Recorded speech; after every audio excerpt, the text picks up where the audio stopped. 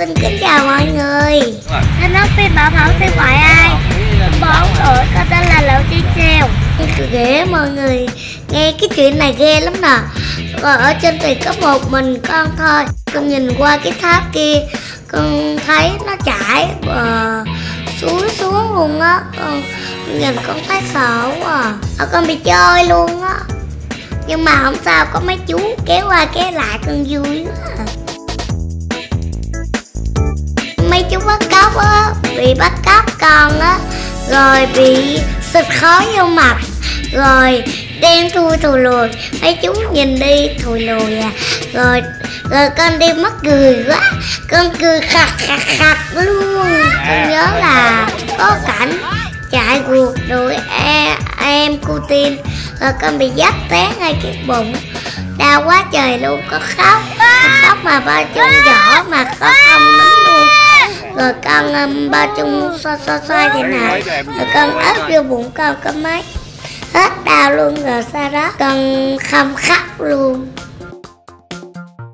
Lúc con ngồi ngay gốc cây á thì con um, chú tuấn dời bắt con đi.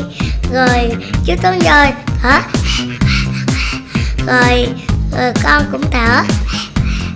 Rồi con thấy thương chú tuấn dời lắm luôn á. Tại vì con mập quá con cái bụng con nó dướng ở dưới đất á. Con đau quá trời rồi con chui ra, con núp ở cái cửa rồi con gán cũng gán chui qua.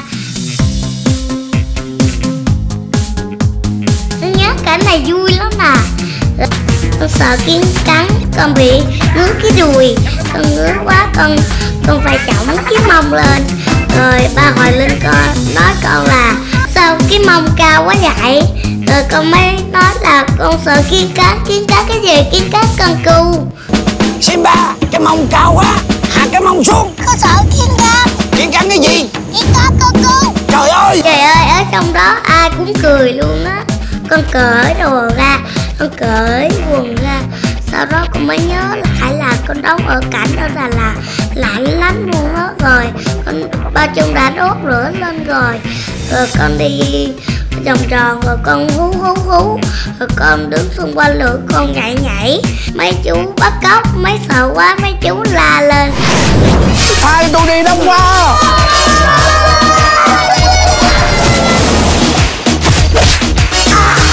Con đóng phim bà mẫu xe ngoại này nè. Con được đóng nhiều thú vật lắm. Có con heo nè. Dê. nè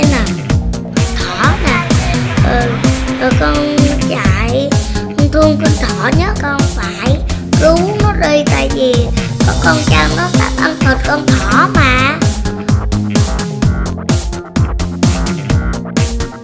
Lúc đó con đi chơi ở trong công viên, rồi con mới đi mua kẹo, rồi em cô tin mới gọi con là, anh đẹp trai anh đẹp trai.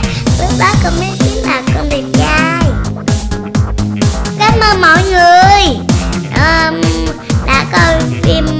siêu hoài một của con. Và mọi người, đến đây ủng hộ con coi phim ủng bà mẫu siêu hoài ai nha?